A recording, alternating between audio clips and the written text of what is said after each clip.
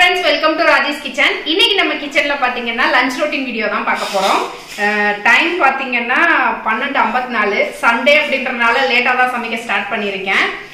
Lunch ரொட்டீன்ல வந்து நான் எப்படி சமைக்கிறேன் என்ன சமைக்கிறேன் அப்படின்றத பார்க்கலாம். இன்னைக்கு என்னோட லஞ்ச் மெனு பாத்தீங்கன்னா சிக்கன் தான். சிக்கன் வச்சு எப்பவும் ஒரே மாதிரி கிரேவியா வைக்காம இன்னைக்கு வந்து ஃப்ரெஷ்ஷா மசாலாலாம் வர வறுத்து அரைச்சு பண்ணலாம் அப்படின்னு டிசைட் பண்ணியிருக்கேன். வறுத்து அரைச்சு ஒரு சிக்கன் குழம்பு அப்புறம் சிக்கன் பெப்பர் ஃப்ரை பண்ணலாம் அப்படின்னு நினைச்சிருக்கேன். வாங்க ரெசிபி எல்லாமே வீடியோ பார்த்து தெரிஞ்சுக்கலாம்.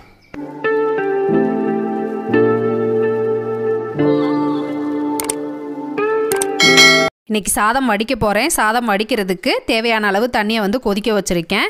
இங்கே பார்த்தீங்கன்னா அரிசியும் ஊற வச்சு வச்சுருக்கேன். சிக்கன் எடுத்து ரொம்ப நாள் ஆனதுனால இன்றைக்கி ஒரு கிலோ சிக்கன் எடுத்திருக்கேன். சிக்கன் வந்து ரெண்டாக ஸ்பிட் பண்ணி வச்சுருக்கேன். ஒன்று குழம்புக்கு ஒன்று பெப்பர் ஃப்ரைக்குன்னு ரெண்டையுமே மஞ்சத்தூள் போட்டு க்ளீன் பண்ணி எடுத்து வச்சுருக்கேன். குழம்புக்கு வறுக்கிறதுக்கு தேவையான பொருட்கள் எடுத்து வச்சுக்கிட்டு இருக்கேன். காரத்துக்கு எப்போ ஒரு அஞ்சு வரமிளகா எடுத்து வச்சுருக்கேன். கூடவே ரெண்டு டேபிள் ஸ்பூன் அளவுக்கு மல்லி எடுத்து வச்சுருக்கேன். அப்புறம் ஒரு ஸ்பூன் சோம்பு ஒரு ஸ்பூன் சீரகம் ஒரு ஸ்பூன் மிளகு எடுத்து வச்சுருக்கேன். இது கூடவே அரை ஸ்பூன் அளவுக்கு கசகசாவும் எடுத்து வச்சுருக்கேன். அடுத்து பிரியாணி ஸ்பைசஸில் ஒரு மூணு பீஸ் சின்ன பீஸாக ஒரு மூணு பீஸ் பட்டை எடுத்து வச்சுருக்கேன். அஞ்சு கிராம்பு எடுத்து வச்சுருக்கேன். கூடவே ஒரு மூணு ஏலக்காய் ஒரு அன்னாச்சி பூ எடுத்து வச்சுருக்கேன். இது எல்லாமே குழம்புக்கு வறுத்து அரைக்கிறதுக்காக எடுத்து வச்சுருக்கேன். குழம்புக்கு தேவையான வெள்ளைப்பூடி இஞ்சி வெங்காயம் தக்காளி எல்லாத்தையும் கட் பண்ணி எடுத்துக்க போகிறேன் ஒரு நாலு வெள்ளைப்பூடை தோல் சீவி ரெண்டு ரெண்டாக கட் பண்ணி எடுத்து வச்சுருக்கேன். ஒரு துண்டு இஞ்சியை தோல் சீவி அதையும் சின்ன சின்னதாக கட் பண்ணி எடுத்துக்க போகிறேன் இது கூடவே ஒரு தக்காளி ஒரு வெங்காயம் வந்து சின்ன சின்னதாக கட் பண்ணி எடுத்துக்க போகிறேன் இதெல்லாம் ரெடி பண்ணுற கேப்பில் சாதம் வடிக்கிறதுக்கு உலை வந்து நல்லா கொதிச்சிருச்சு. ஊற வச்சிருக்க அரிசியை கழுவி இதில் ஆட் பண்ணி அடுப்பை சிம்மில் வச்சுட்டு தேவையான அளவு உப்பு போட்டோம் அப்படின்னா அது பாட்டுக்கு வெந்துட்டு இருக்கும். மசாலா வறுக்கிறதுக்கு அடுப்பை பற்ற வச்சு ஒரு பேன் வச்சுருக்கேன். இதில் நம்ம எடுத்து வச்சுருக்க வரமிளகா கசகசாவை தவிர மல்லி சீரகம் சோம்பு மிளகு எல்லாத்தையும் போட்டுடலாம் கசகசாவை நம்ம முன்னாடியே போட்டோம் அப்படின்னம்னா ஒரு மாதிரி கரிஞ்சு போயிடும் அதனால கடைசியாக ஆட் பண்ணிக்கலாம். கூடவே நம்ம எடுத்து வச்சுருக்க பட்டை கிராம்பு ஏலக்காய் எல்லாத்தையும் போட்டுடலாம் இது எல்லாத்தையுமே நல்லா வறுபட்டு வாசம் வர்ற வரைக்கும் வறுத்து எடுத்துக்கலாம். இப்போ இது எல்லாமே நல்லா வறுபட்டுருச்சு. இந்த ஸ்டேஜில் நம்ம எடுத்து வச்சுருக்க கசகசாவையும் போட்டு எல்லாத்தையும் ஒருக்க நல்லா கலந்துட்டு அடுப்பை ஆஃப் பண்ணிட்டு இதை எடுத்து நம்ம வேறு பிளேட்டில் மாற்றி வச்சிடலாம் நல்லா ஆறட்டும். திரும்ப அதே பேனை அடுப்பில் வச்சு கொஞ்சமாக எண்ணெய் ஆட் பண்ணிக்கிறேன். வெங்காயம் வெள்ளைப்பூடு எல்லாத்தையும் வதக்கிறதுக்காக நம்ம கட் பண்ணி வச்சுருக்க வெங்காயம் வெள்ளைப்பூடு இஞ்சி எல்லாத்தையும் போட்டு லைட்டாக இது வதங்குற வரைக்கும் வதக்கி விட்ருங்க அப்புறமா தக்காளி ஆட் பண்ணிக்கலாம். வெங்காயத்து கூடவே கொஞ்சமாக கருவேப்பிலை ஆட் பண்ணியிருக்கேன் வாசத்துக்காக. வெங்காயம் இந்த மாதிரி ஓரளவுக்கு வதங்கினதுக்கப்புறம் நம்ம கட் பண்ணி வச்சுருக்க தக்காளியும் ஆட் பண்ணிவிட்டு எல்லாத்தையும் நல்லா வதக்கி விட்ருங்க வெங்காயம் தக்காளி வதங்குற கேப்பில் பெப்பர் ஃப்ரை செய்கிறதுக்கு ஒரு வெங்காயத்தை மட்டும் சாப்பரில் போட்டு நல்லா சாப் பண்ணி எடுத்துக்க போகிறேன் வெங்காயம் தக்காளியும் நல்லா வதங்கிருச்சு. அடுப்பு ஆஃப் பண்ணிட்டு இறக்கி வச்சிடலாம் ஆறட்டும். அடுத்து பெப்பர் ஃப்ரைக்கு அதுக்கும் மசாலா வந்து வறுக்க தான் போகிறேன் அதுக்கு தான் பாத்திரம் வச்சுருக்கேன். நான் எப்போ ரெசிபி ஷூட் பண்ணாலும் முன்னாடி வந்து இந்த மாதிரி ஒரு ஸ்டாண்ட் இருக்கும். ஸோ அது இருக்கிறனால கொஞ்சம் அது தட்டி விட்டுறக்கூடாது அப்படின்றதுக்காக கொஞ்சம் மெதுவாக வேலை செய்வேன். அது இல்லைன்னா இன்னும் கொஞ்சம் வேகமாக வேலை செய்வேன். பெப்பர் ஃப்ரை மசாலாவுக்கு கடாயில் ஒரு ரெண்டு டேபிள் ஸ்பூன் அளவுக்கு பெப்பர் ஆட் பண்ணிக்கிறேன். இது கூடவே அரை ஸ்பூன் அளவுக்கு சீரகம் அரை ஸ்பூன் அளவுக்கு சோம்பு ஆட் பண்ணிக்கிறேன். இது எல்லாத்தையுமே நல்லா வாசம் வர்ற வரைக்கும் வறுத்து எடுத்துக்கணும். இந்த மாதிரி எல்லாத்தையும் நல்லா வாசம் வர வரைக்கும் வறுத்துக்கோங்க. இப்போ இதை அடுப்பை ஆஃப் பண்ணிட்டு எடுத்து வச்சிடலாம். நல்லா ஆறட்டும். ஆறினதுக்கப்புறம் பவுட்ரு பண்ணிக்கலாம். அடுத்து பெப்பர் ஃப்ரை செய்கிறதுக்கு அடுப்பை பற்ற வச்சு பேன் வச்சுருக்கேன். பேன் ஹீட் ஆனதும் தேவையான அளவு எண்ணெய் ஆட் பண்ணிக்கலாம். எண்ணெய் காஞ்சதும் தாளிக்கிறதுக்கு பட்டை கிராம்பு ஏலக்காய் போட்டு தாளிச்சிடலாம். இப்போ இதில் நம்ம சாப்பரில் சாப் பண்ணி வச்சுருக்க ஒரு வெங்காயத்தை போட்டு வெங்காயம் நல்லா சாஃப்டாகிற வரைக்கும் வதக்கி விட்டுறலாம். வெங்காயத்து கூடவே ஃப்ளேவருக்காக ஒரு பச்சை மிளகாவை ரெண்டாக கீரி ஆட் பண்ணிக்கிறேன். இது வதங்குற கேப்லேயே பெப்பர் ஃப்ரைக்கு வறுத்து வச்சது ஆறிருச்சு. அதையும் அரைச்சிக்கிறேன். குழம்புக்கு வறுத்து வச்சதுமே ஆறிடுச்சு அதையும் மிக்சி ஜாருக்கு மாற்றிட்டு அரைச்சி எடுத்துக்கிறேன் இந்த மாதிரி குறகுறப்பாக அரைச்சிட்டு இது கூடவே நம்ம வதக்கி வச்சுருக்க வெங்காயம் தக்காளி எல்லாம் போட்டு அதையும் அரைச்சிக்கலாம் வலுவலுன்னு. இந்த மாதிரி நல்லா வலுவலுன்னு அரைச்சி எடுத்துக்கோங்க இது ஓரமாக இருக்கட்டும். பெப்பர் ஃப்ரைக்கு வெங்காயம் பார்த்தீங்கன்னா நல்லா கோல்டன் ப்ரௌனாக வதங்கிருச்சு. இந்த ஸ்டேஜில் ஒரு அரை டீஸ்பூன் அளவுக்கு இஞ்சி பூண்டு பேஸ்ட் ஆட் பண்ணிக்கிறேன். வெஞ்சி பூண்டு பேஸ்ட்டோட பச்சை வாசம் போகிற வரைக்கும் நல்லா வதக்கி விட்ருங்க இஞ்சி பூண்டு பேஸ்ட்டோட பச்சை வாசம் போனதுக்கப்புறம் நம்ம க்ளீன் பண்ணி வச்சுருக்க சிக்கனை இதில் ஆட் பண்ணிடலாம் சிக்கன் வெங்காயத்து கூட நல்லா மிக்ஸ் ஆகிற மாதிரி நல்லா வதக்கிட்டு தேவையான அளவு உப்பு போட்டு அதையும் ஒருக்க வதக்கி விட்ருங்க சிக்கன் வந்து தண்ணி விட்டு வேகிற வரைக்கும் இதை வந்து மூடி வச்சு வேக வச்சுக்கலாம். அடுப்பை வந்து மீடியம் ஹீட்லேயே வச்சுக்கோங்க. இதெல்லாம் ரெடி பண்ணுற கேப்பில் இன்னொரு அடுப்பில் வச்சுருந்த சாதம் வந்து நல்லா வெந்துருச்சு. அடுப்பை ஆஃப் பண்ணிட்டு இதை வடிச்சு எடுத்துக்கலாம். சாதம் வடிக்கிறதுக்கு செட் பண்ணி வச்சுட்டேன்.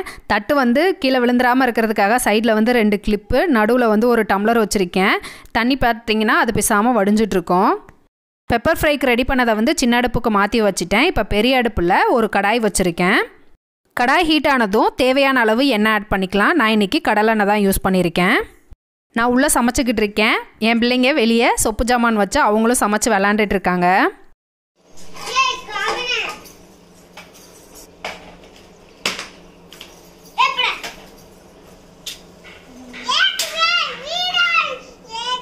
எண்ணெய் காஞ்சதும் தாளிக்கிறதுக்கு பட்டை கிராம்பு ஏலக்காய் போட்டுக்கலாம்.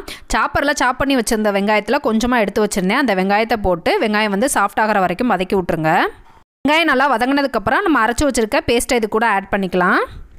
பேஸ்ட்டை ஆட் பண்ணிவிட்டு ஒன் ஆர் டூ மினிட்ஸ்க்கு இதை நல்லா வதக்கி விட்ருங்க இந்த அடுப்பில் சிக்கன் பார்த்திங்கன்னா தண்ணி விட்டு வேக ஆரம்பிச்சிருச்சு. இந்த ஸ்டேஜில் நம்ம வறுத்து அரைச்சி வச்சுருக்க மிளகு பொடியை இதில் ஆட் பண்ணிக்கலாம். பெப்பர் மசாலா ஆட் பண்ணிவிட்டு சிக்கனில் நல்லா கோட்டாகிற மாதிரி மிக்ஸ் பண்ணி விட்ருங்க மூடி போட்டு மூடி வச்சு அடுப்பை வந்து சிம்லேயே வச்சு இதை சிக்கன் வேகிற வரைக்கும் வேக வச்சுக்கலாம். இந்த அடுப்பில் மசாலா பார்த்திங்கன்னா நல்லா வதங்கிருச்சு. இந்த ஸ்டேஜில் நம்ம க்ளீன் பண்ணி வச்சுருக்க சிக்கனை ஆட் பண்ணிக்கலாம். சிக்கனை ஆட் பண்ணிவிட்டு மசாலா எல்லாத்துலேயும் நல்லா கோட்டாகிற மாதிரி மிக்ஸ் பண்ணிவிட்டு குழம்புக்கு தேவையான அளவு உப்பு ஆட் பண்ணிக்கலாம். உங்களுக்கு எந்த அளவுக்கு தேவையோ அந்த அளவுக்கு போட்டுக்கோங்க.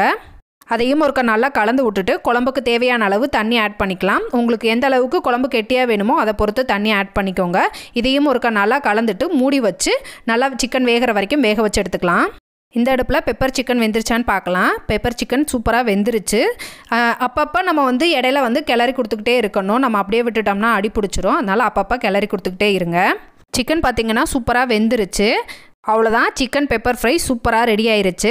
கொஞ்சம் கடைசியில் கொஞ்சமாக கொத்தமல்லி தூவி அடுப்பை ஆஃப் பண்ணி இறக்கி வச்சிடலாம் சிக்கன் பெப்பர் ஃப்ரை இறக்கி வச்சுட்டு ரசத்துக்கு தாளிச்சு விட்ருக்கேன் ரசம் நல்லா கொதிக்கட்டும். இந்த அடுப்பில் குழம்பு பார்த்திங்கன்னா நல்லா எண்ணெய் பிரிஞ்சு கொதிக்க ஆரம்பிச்சிருச்சு. இன்னும் ஒரு அஞ்சுலேருந்து ஏழு நிமிஷம் கொதிக்க வச்சோம்னா சிக்கனும் நல்லா வெந்து குழம்பு கொஞ்சம் கெட்டியாக ஆரம்பிச்சிரும். திரும்ப ஒருக்க மூடி வச்சு கொதிக்க வச்சுக்கலாம். ஆல்மோஸ்ட் எல்லாமே ரெடி பண்ணிட்டேன். குழம்பு ரசம் எல்லாம் கொதிச்சுக்கிட்டு இருக்கு. பெப்பர் ஃப்ரையும் சாதமும் ரெடி ஆயிருச்சு. நான் அடுத்து எங்கள் கவினுக்கு தான் ரெடி பண்ணணும். கவினுக்கு கோழி கால் வாங்கிட்டு வந்திருந்தோம். காலில் இருக்க நெகத்தெல்லாம் கட் பண்ணிவிட்டு இது எல்லாத்தையும் கழுவி அவனுக்கும் சாதம் வைக்கணும். ரசம் பார்த்தீங்கன்னா நல்லா நுரக்கட்டி வந்துருச்சு. அடுப்பை ஆஃப் பண்ணிட்டு இறக்கி வச்சிடலாம். கவினுக்கு சாதம் வைக்கிறதுக்கு அரிசி ஊற வச்சுருந்தேன். காலையும் கழுவி எடுத்து வச்சுருக்கேன். இது கூடவே ஒரு வெள்ளைப்பூடு கொஞ்சமாக மஞ்சள் தூள் போட்டு தேவையான அளவு தண்ணி ஊற்றி குக்கரை மூடி வச்சு விசில் போட்டு வச்சிட்டோம்னா அது பாட்டுக்கு வெந்துடும்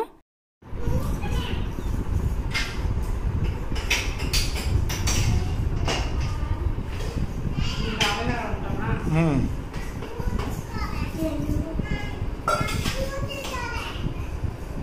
குழம்பு ரெடியாக இருக்கும் ஓப்பன் பண்ணி பார்க்கலாம். பார்த்தீங்கன்னா எண்ணெய் சூப்பராக பிரிஞ்சு குழம்பும் நல்லா கெட்டியாகி சிக்கனும் சூப்பராக வெந்து ரெடி ஆயிருச்சு. அவ்வளோதான் நம்ம அரைச்சி வச்ச சிக்கன் குழம்பு சூப்பராக ரெடி ஆயிருச்சு. கடைசியாக கொஞ்சமாக கொத்தமல்லி தூவி இறக்கி வச்சிடலாம். இந்த குழம்பு பார்த்தீங்கன்னா இட்லி தோசை சப்பாத்தி எல்லாத்துக்குமே சூப்பராக இருக்கும். இதே மெத்தடில் நாட்டுக்கோழி குழம்பும் மட்டன் குழம்பும் செஞ்சோம்னா சூப்பராக இருக்கும். அவ்வளோதான் சிக்கன் குழம்பு சாதம் ரசம் பெப்பர் ஃப்ரை எல்லாமே ரெடி ஆயிருச்சு. கவினுக்கும் சாதத்தை வந்து அடுப்பில் வச்சுட்டேன். இப்போ வந்து கவுண்டர் டாப் எல்லாத்தையும் அடுப்பு எல்லாத்தையும் க்ளீன் பண்ணிக்கிட்டு இருக்கேன். இன்னும் பாத்திரம் மட்டும்தான் விளக்கணும். இப்போ டைம் பார்த்தீங்கன்னா ரெண்டு பத்து ஆயிடுச்சு. ஆல்மோஸ்ட் எல்லா வேலையும் முடிச்சிட்டேன். பாத்திரம் மட்டும்தான் க்ளீன் பண்ணணும். இன்றைக்கி சண்டேன்றதுனால காலையில் லேட்டாக தான் சாப்பிட்டோம். லஞ்சும் லேட்டாக தான் சாப்பிட போகிறோம் இன்றைக்கி சிங்கில் வந்து பாத்திரம் வந்து நிறையா சேர்ந்துருச்சு. ஏன்னா காலையில் நான் செஞ்சுட்டு பாத்திரத்தை வந்து கழுவி வைக்கல. அதனால் அதுவும் சேர்ந்தனால நிறைய பாத்திரம் ஆயிடுச்சு எல்லாத்தையும் க்ளீன் பண்ணி வச்சுக்கிட்டு இருக்கேன். அவ்வளோதான் எல்லா வேலையும் முடிஞ்சு இப்போ டைம் பார்த்தீங்கன்னா மணி ரெண்டு இருபத்தி ரெண்டு நான் சமைக்க ஆரம்பிச்சு கிட்டத்தட்ட ஒன்றரை மணி நேரம் ஆயிடுச்சு சமைச்சு முடிச்சிட்டேன். க்ளீனிங் வேலையும் முடிஞ்சிச்சு க்ளீனிங் வேலையும் முடிஞ்சு. வாங்க இப்போ என்ன சமைச்சிருக்கேன்னு பார்க்கலாம். சாதம் வடிச்சு வச்சிருக்கேன். Uh, பெப்பர் சிக்கன் அடுத்து வறுத்து அரைச்ச சிக்கன் குழம்பு. வாசமாக இருக்குது நல்லா. அப்புறம் ரசம். இங்கே வந்து கவினுக்கும் ரெடி ஆயிடுச்சு குக்கர் விசில் அடங்கினதான் உனக்கு போட வேண்டியதான் வெயிட் பண்ணிட்டு இருக்கான். வேணுமா?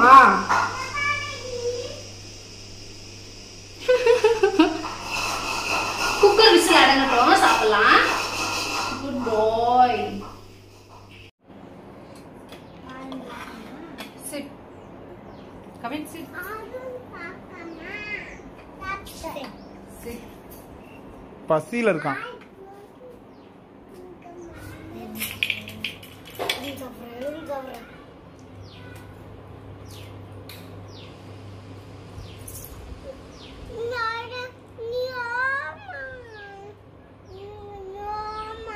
கவினுக்கு சாப்பாடு வச்சுட்டோம் சாப்பிட்டுட்டு இருக்கான். எங்களுக்கும் லஞ்ச் ரெடி ஆயிடுச்சு எல்லாரும் சேர்ந்து உட்காந்து சாப்பிட்டுட்டு இருக்கோம். இன்னைக்கு லஞ்ச் மெனு உங்களுக்கு பிடிச்சிருக்கும் நம்புறேன். பிடிச்சிருந்தா லைக் பண்ணுங்க. செஞ்சு பார்த்து எப்படி இருக்குன்னு கமெண்ட் பண்ணுங்க. மறக்காம சேனலை சப்ஸ்கிரைப் பண்ணுங்க. அடுத்த ஒரு இன்ட்ரெஸ்டிங்கான வீடியோவில் பார்க்குறேன். அது வரைக்கும் பாய்